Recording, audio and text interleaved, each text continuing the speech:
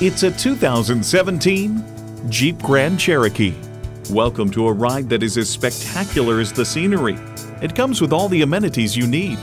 External memory control, power heated mirrors, dual zone climate control, configurable instrument gauges, doors and push button start proximity key, heated steering wheel, V6 engine, power sliding and tilting sunroof, electronic shift on the fly, and heated leather bucket seats.